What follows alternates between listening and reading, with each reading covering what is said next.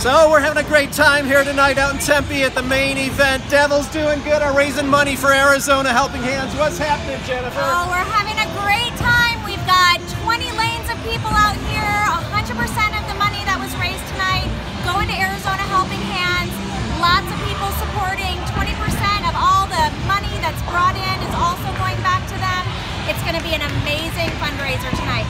We've got Sparky.